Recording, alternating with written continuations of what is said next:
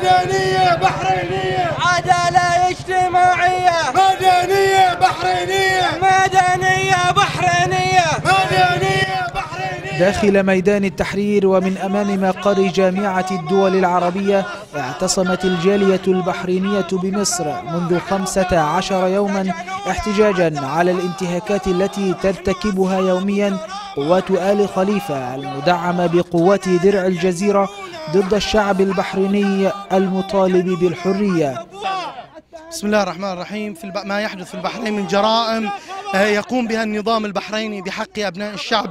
تعبر أن هناك آه، سياسة ممنهجة. ما حدث في البحرين وما يحدث في البحرين يدلل على أن هناك سياسة مبرمجة من قبل النظام البحريني ومن قبل وتحت إشراف الإدارة الأمريكية الإدارة الأمريكية تتحمل المسؤولية لكل الجرائم التي حدثت في البحرين لأن الإدارة الأمريكية هي من تغطي وهي من تشرعن للنظام البحريني ولجيش الاحتلال السعودي قيامه بهذه المجازر التي حدثت. في البحرين هناك أكثر من 48 شهيد. طبعا أنا كبحرينية يدمي قلبي ما يحصل. يدمي قلبي إن إحنا يعني الشعب رغم إنه طلع بشكل سلمي ورغم إنه مطالبة مشروعة وما طلب المستحيل وطلب أمور وعد فيها الملك في بداية حكمه. يعني هو ما طلب إلا أن الملك يفعل وعوده للشعب ومع ذلك وجه بهذه الوحشية. وما يألمني أكثر مواقف آه، جهات مثل الجامعة العربية ومثل كثير من الشعوب العربية والإعلام العربي. نداءات واستغاثات أطلقتها الجالية البحرينية بمصر لجامعة الدول العربية.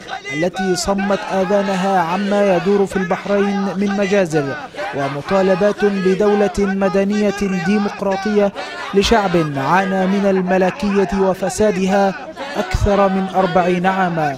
من واجب جامعة الدول العربية اليوم أن تتقدم بمشروع مبادرة لحقن الدماء في البحرين. إذا كانت هذه جامعة ترعى الله وترعى حق دمنا العربي فعليها أن تستمع إلى صوت دم الدم العربي الذي يسيل في شوارعنا. دمنا العربي الذي تهدره قوات درع الجزيرة وقوات الأمن الداخلية البحرينية. نقول لهم الشعب أساس الشرعية. ونقول لآل خليفة أن مطلبنا مطلب وطني ينبع من ضمير البحرينيين ونقول لآل خليفة أيضا أن هناك صوت يرغب في نقل البحرين إلى دولة مدنية حقيقية ديمقراطية عربية.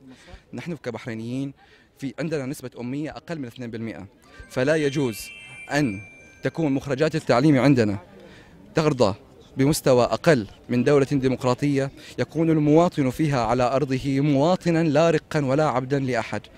كانوا مفهمينا إن الثورة في البحرين ثورة طائفية ولكن بعد ما قعدت مع الناس وشفتهم لقيتها ثورة لشعب مبدأه بس بلد البحرين وإحنا ما بنحبش القمع الجالية البحرينية التي تظاهرت اليوم أمام مقر جامعة الدول العربية والتي لاقت تضامنا من ثوار التحرير للقضية البحرينية.